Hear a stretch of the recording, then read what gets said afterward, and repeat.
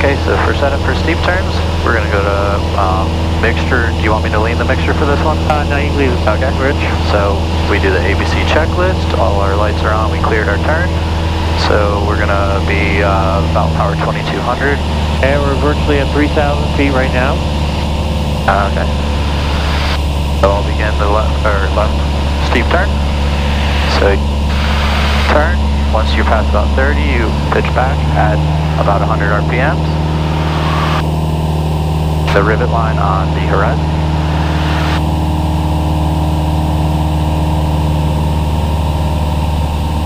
I don't think there's any rudder. Rudder should be, your feet should Equalized? be Okay. just equalized. Got it.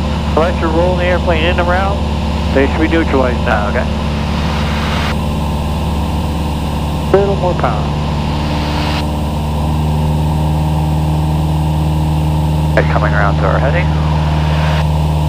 Now use the rudder Astro traffic, Hawaii Skyhawk 6 Charlie. and then neutralize.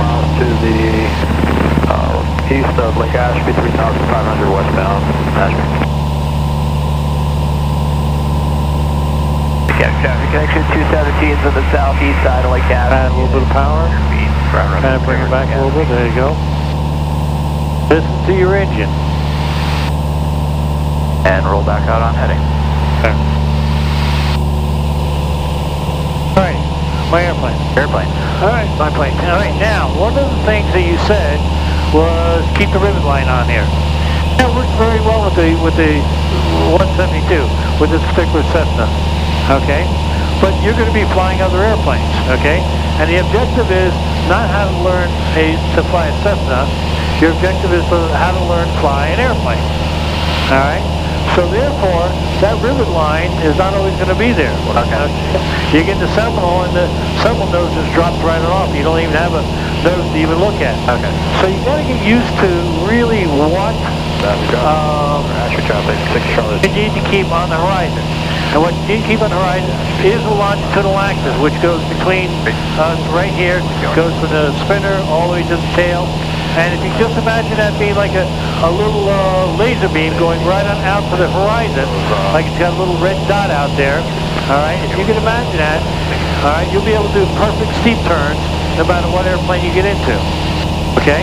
So if you just imagine that laser beam being out there, okay, when I bring the nose up, the laser beam goes up. Okay, if I bring the nose down, the laser beam goes down. Okay, when I put back on the horizon, okay, it needs to be right about there. So as I look to the left, again, do this, nothing's there.